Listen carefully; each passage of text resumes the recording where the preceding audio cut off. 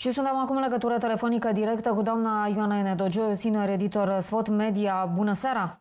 Bună seara! Sigur, e foarte multă emoție în acest caz și era firesc să se întâmple așa, modul în care a evoluat el, însă scoate la iveală foarte multe detalii uh, tragice, macabre, chiar iată această teorie cu pătura neagră, dar uh, dincolo de asta... Sau neagră, am mai auzit și teorii de gen. Da, uh, cu... totuși serioși. Tocmai cu traficul de organe, tot felul de uh, idei uh, care circulă în aceste zile, dar dincolo de asta se vorbește intens despre o încercare de mușamalizare. Cine ar încerca asta? Uh, cum credeți că va evolua acest caz cu tot cu toate aceste detalii, unele dintre ele um, cumva din sfera senzaționalului? Mi se pare că în momentul acesta uh, s-a deschis o cutie din care se rezerv, revarsă toate uh, frustrările, supărările, nemulțumirile, uh, anxietățile, justificate sau nu. Nu sunt eu în măsură să spun cum este, ale pacienților în raport cu sistemul sanitar românesc, care este foarte departe de a fi ceea ce ar trebui să fie și știm asta. De aici însă, până la uh, relatări uh, ca uh, aceea pe care am auzit-o anterior, cu tot respectul uh, pentru uh, doamna în cauză, uh, când unui pacient îi se spune dacă nu te operezi până luni o să mori, asta nu înseamnă neapărat că cineva intenționează să o moare, ci asta înseamnă că starea este atât de gravă încât dacă nu se intervine chirurgical, intervine decesul. Și cred că suntem amândouă de acord că este o explicație perfect plauzibilă uneori fără intervenție chirurgicală, intervine decesul. Asta e, că de-aia sunt făcute intervențiile chirurgicale. Acum, în ceea ce prive... Deci, a, am ajuns într-o magmă în care nu mai știi ce să alegi, ce este real, ce este autentic, ce este cu adevărat problematic și ce reprezintă frustrări ale unor oameni care au avut niște pierderi și niște suferințe certe pentru care trebuie să avem toată compasiunea, dar care simt nevoia să-și descarce furiile uh, și uh, neputințele uh, în acest mod găsind de bușeul necesar. În ceea ce privește uh, încercarea de mușamalizare de care uh, vorbiți, eu personal nu o găsesc, nu o văd. Uh, din potrivă, uh, am văzut o motivare foarte dură astăzi a judecătorului uh, de la care a uh, decis arestarea, da? E o motivare extrem de dură. Pe de altă parte, ascultând uh, opinia ale unor medici specialiști ATI, cum este domnul Tincu, de exemplu, de la Floreasca, pe care l-am auzit chiar în această seară pe un alt post de televiziune, explicând extrem de calm și de atent, îți dai seama că, într-adevăr, pentru ca toate lucrurile acestea să se calmeze, ar trebui să existe și o expertiză a unui medic specialist ATI în cauză. Da? Ce să stabilească ea? Dacă într-adevăr există o cauzalitate directă, care eu nu spun că nu există, Doamne ferește, dar, având în vedere că toți medici și specialiști o pun sub semnul întrebării, simt nevoia ca un expert independent, care poate fi adus din străinătate, din Statele Unite, de unde vreți dumneavoastră, care să stabilească foarte clar dacă omul acela a murit pentru că i-a fost redusă noradrenalina, deci există acea cauzalitate directă care a provocat decesul, sau decesul a survenit indiferent de reducerea noradrenalinei. Eu nu pot să spun dacă este așa și mi se pare că părerile emise deja în spațiu public de tot felul, de ziariști, lideri de sindicat, uh, Dumnezeu știe ce alte profesii extrem de onorabile, extrem de onorabile, dar fără nicio legătură cu cei 11 ani de învățat pe care îi presupune specialitatea anumită ATI, uh, sunt uh, cumva um, ne la locul lor.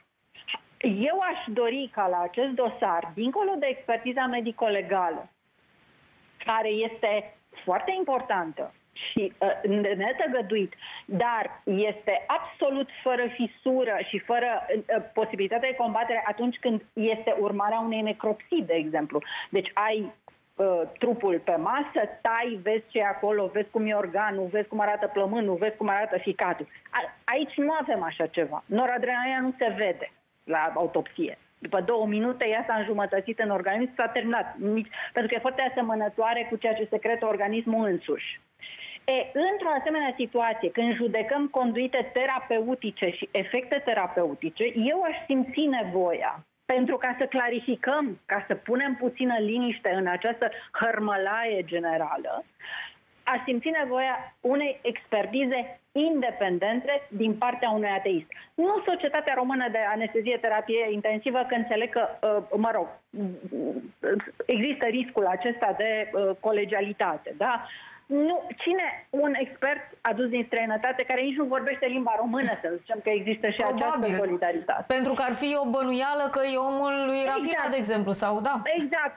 Aducem un om de unde vrea oricine și facem o expertiză independentă, pentru că altfel știți care va fi efectul? Efectul cel mai rău în toată această poveste nici măcar nu este dacă două femei intră sau nu la pușcărie. Oricum au greșit.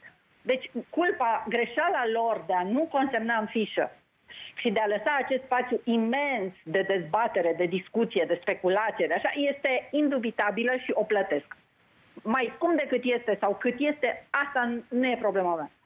Problema mea este că în acest moment, pe de o parte, uh, a crescut o neîncredere imensă a societății în actul medical însuși pentru că nu e așa, ă, păcatul generalizării ne caracterizează și toți medicii au devenit niște potențial criminali, da? Ceea ce pe undeva este justificat la ce hărmălaie și ce isterie este.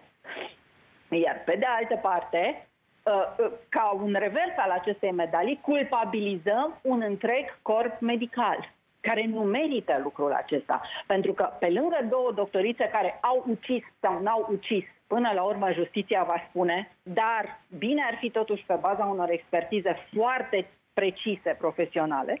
Deci, dincolo de asta, există un imens corp profesional care salvează care salvează vieți și pe care din timp în timp îl glorificăm când e salvat un copil, când nu știu ce se întâmplă extraordinar, când e replantată o mână, când așa, dar în rest Uh, dăm cu picioarele și pumnii în el cât putem și după aceea ne vom mira că până la urmă vom avea spitale, da? Până la urmă, nu știu câți ani vor apărea și acele noi spitale, dar ele vor fi goale, că nu va avea cine să lucreze în ele. Deci trebuie păstrată o măsură în toate. O măsură și un respect pentru uh, breaslă și pentru profesii și pentru anii de școală trebuie păstrată, chiar dacă cele două sunt niște criminale, da? Să presupunem sunt obligate să le respect prezumția de nevinovăție, să zicem că sunt niște criminale. Că au ucis cu premeditare și au pierdut mințile, nu știu, nu mă interesează, au făcut-o, da? Asta nu înseamnă să declanșăm o asemenea, să revărsăm asemenea găleți de lături și asemenea acuzații înfiorătare împotriva întregului corp medical din România. O eventuală plecare a ministrului Rafila ar rezolva cumva, măcar o parte, evident, din scandalul pe care îl avem în aceste zile? Mi-e foarte greu să spun. Probabil că din punct de vedere politic pentru PSD și pentru domnul Ciolacu, cel căutător de candidaturi la mănăstire, uh, ar fi o, o descărcare de tensiune. Pe de altă parte, în acest scandal, eu nu am găsit încă o responsabilitate a ministrului Rafila mai mare decât a celorlalți ministri. Și anume aceea de faptul că noi nu avem niște protocoale bine stabilite. Nu le avem.